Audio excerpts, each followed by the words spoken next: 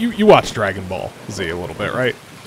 You're that generation. No, I didn't really watch. It. Okay, so you know how people who like do training, right? They'll do weight training. So you like they'll weigh themselves down more so they can run mm-hmm. faster.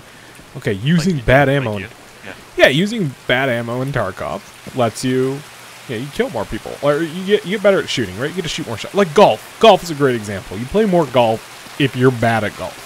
You get to play more Tarkov because you're bringing bad ammo, right? You get to shoot people more. You get better at shooting. I'm not wrong.